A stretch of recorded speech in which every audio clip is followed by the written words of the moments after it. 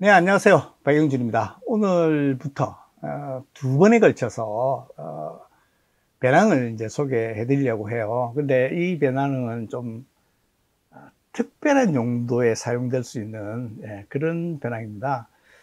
어, 최근 그 해외로 그 트레킹이나 뭐 이런 거를 가시는 분들이 많으신 것 같아요. 상당히 많으신 것 같아요. 어, 그래서 이제 특히 이제 돌로미티 같은 곳에서 보면 뭐 상당히 많은 분들이 어, 7, 8월에 어, 이렇게 그 가시더라고요. 우리 카페에서도 이제 올해 갔다 왔죠. 네, 갔다 왔는데 근데 지금은 이제 거의 대부분이 트레킹을 주로 하세요. 예, 근데 돌로미티는 이제 어, 원래 그 유명한 곳입니다. 뭐냐면 암벽 등반으로 유명한 곳입니다. 암벽 등반을 하는 연습할 수 있는 곳들이 굉장히 많이 있습니다. 그 때문에 이제 거기가 암벽 등반의 메카라고 이렇게 불리기도 하고 그래요. 그리고 특히 이제 잘 아시는 라인홀드 메스너, 예, 그 무산소 14좌 등반을 했던 그 유명한 산악인이죠. 그 사람이 훈련하던 곳도 돌로미티입니다. 그래서 이제 돌로미티 가보시면 이제 암벽 등반 하신 분들 뭐 숱하게 보실 수 있어요. 예.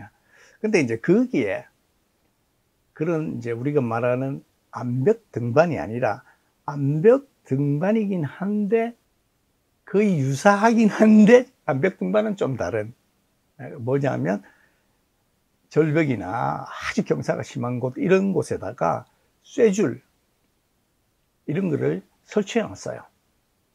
앵커를 박아서 쇠줄을 쭉 설치해 놔서 그거를 갖다가 이제 비아 페라타라고 합니다.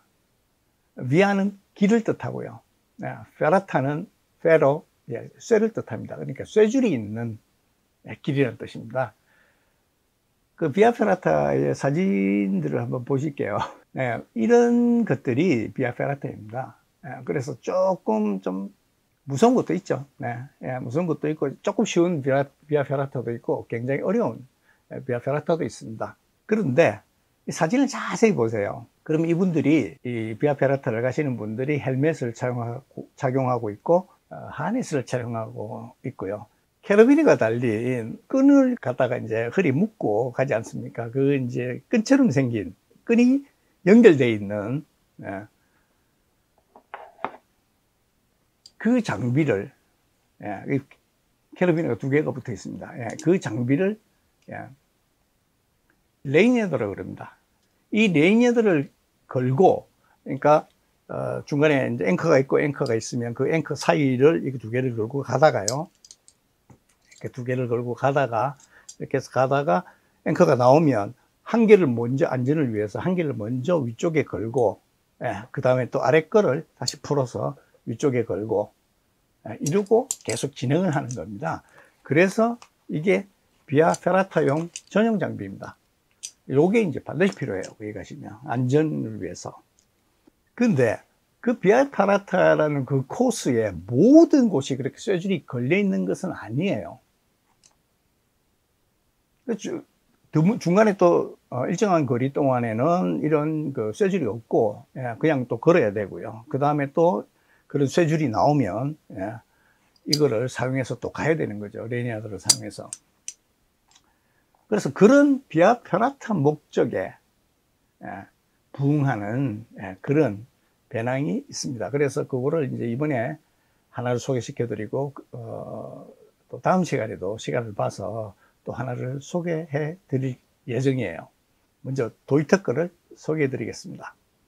네, 이 배낭입니다. 이게 Trail 24, 예, Trail 24리터짜리 배낭입니다. 예, 요게 다른 배낭과 다른 점은 이 trail이니까 뭐 이렇게 via ferrata라고 이렇게 그 이름이 지어져 있지는 않죠. 그렇지만은 어, 산에서 어, 암반 또는 암벽을 어느 정도는 가야 되는 야, 어, 그런 경우에 사용할 수 있는 배낭이다. 이렇게 생각하시죠. 물론 이 배낭을 가지고 뭐 그냥 하이킹이나 트레킹을 못하는 거 아닙니다. 야, 예, 트레킹 얼마든지 할 수 있는 배낭입니다. 근데 다른 배낭과 다른 점부터 먼저 예, 소개를 해드리겠습니다. 이 보시면 숄더 스트랩에 보시면 고리가 있습니다. 요게 다른 점입니다. 뭐냐면 조금 전에 설명드린 것처럼 가시다가, 예, 가시다가 이제 그 쇠줄이 없는 예, 그 코스를 예, 만나시게 되면 이게 굉장히 거추장스럽습니다. 어디다가 두어야 될지 막막하죠. 예. 이거는 이제 이렇게 한쪽은 하네스에 이렇게 캐러비를 통해서 연결되어 있고, 예, 연결되어 있고, 그 다음에 허리에는 이게 붙어 있거든요. 그러면 이거를 갖다가 다시 손에서 들고 가야 되고, 근데 손을 써야 되는 경우도 많이 있거든요. 예. 그때, 요 캐러비느 부분을 네, 여기다 거는 겁니다. 이렇게. 이렇게 걸어버리면, 네, 이렇게 그리면 굉장히 두 손이 자유, 이제 자유로워지죠. 네. 그래서 요 배낭은 다른 데 없는, 어, 그, 이렇게 장치가 하나 붙어 있는 겁니다. 그 다음에 이제 이 배낭이 일반적인 우리 하이킹 배낭과 또는 트레킹 배낭과 조금 다른 점이, 예. 왜냐하면 안반 지역을 또는 암벽을 이렇게 지나갈 때는 등을 많이 굽혀야 되는 경우들이 많이 생깁니다. 네. 네, 그때를 위해서 프레임이 없습니다. 이 두 가지 점이 다른 일반적인 그냥 하이킹용, 트레킹용 배낭보다 아, 다른 점이다. 이렇게 설명을 드리겠습니다. 그 다음에 이 배낭은 그냥 뭐 그냥 하이킹용으로 있으시면 하이킹용으로 그냥 쓰셔도 무방해요. 그리고 요 배낭은 이제 예, 이렇게 보시면 전면 개폐가 예, 가능합니다. 그래서 이것이 예, 이렇게 디귿자로 이렇게 디귿자로 열립니다. 디귿자로 열려서 뭐 내부는 사실은 어떤 배낭 다른 배낭과 별반 다를 바 없습니다. 안쪽에 뭐 수납 넣을 수 있는 주머니가 하나 있고요. 예, 그 다음에 뭐 이렇게 열리는 거, 예, 그 다음에 어, 스티커, 스티커리가 예, 여기 있는 거요. 예, 그 다음에 이제 없는 것은 이제 여기 그 이쪽 부분에 캥거루 포켓이 없죠. 예, 캥거루 포켓이 없고, 다음에 한쪽은 예, 사이드 포켓이 한쪽은 mesh 포켓으로 되어 있고요. 한쪽은 예, 지퍼가 달려 있어요. 그 요 지퍼가 달려있는 요게 이제 그 물품들 중에서 포켓에 넣으면 이제 쉽게 왜냐하면 이제 그 어려운 동작이나 뭐 기울이는 동작들이 많기 때문에 그러면 혹시 빠질 수 있거든요. 그래서 여기다가 집어넣고 여기다가는 보온병 같은 것도 잘 들어갑니다. 이게 깊어서요. 예, 그래서 뭐 그런 데도 사용할 수 있고 이렇게 예, 되어 있습니다. 그 다음에 어, 예, 헤드는 예, 똑, 같습니다 헤드가 이제 또 도이처 배낭답게 예, 상당히 큽니다. 그래서 이 안쪽에 굉장히 많이 예, 들어갑니다. 나머지는 뭐, 뭐 다른 배낭과 다를, 다를 바 없다고 봐야죠. 그 다음에 어, shoulder strap은 상당히 이제 아까 설명드린 이 부분 말고도 shoulder strap은 어, 땀을 잘 받을 수 있게 그리고 또 통풍이 잘 되게 그리고 어, 두께도 어, 요런 24리터 배낭치고는 조금 예, 도톰한 편입니다. 그 다음에 이제 요 부분은, 어, 안쪽에 프레임을 넣을 수 없기 때문에, 예, 결국 이제 ventilation을 위해서는 요 사이드 쪽으로, 양쪽으로 이렇게 할 수밖에는 없어요. 예. 그래서 이제, 이제 이쪽으로 벤틸레이션을 할 수 있도록 이렇게 그 만들어져 있습니다. 그 다음에 이제 요 배낭은, 어, 보시다시피, 예, 요 허리벨트가 얇습니다. 예, 그래서 이 배낭은 원래 그 굉장히 많은 그 물품을 뭐 지고 다니는 건 아니기 때문에 그렇게 돼 있고, 그 다음에 땀 처리할 수 있도록 mesh와 그 다음에 스펀지, 그 다음에 타공이 되어 있는 게 요 특징입니다. 특히 요 mesh 부분이 굉장히 시원하게 되어 있습니다. 예, 그래서 요 부분으로 덥지 않게 이렇게 만들어져 있고, 또 하나는 이제 이쪽에, 그러니까 뭐 quickdraw 같은 거 그 왕창 차고 정말 이제 암벽 등반을 하시는 경우가 아니라 그러면 사실은 뭐 이쪽에 뭘 이제 걸고 하는 것은 필요 없거든요.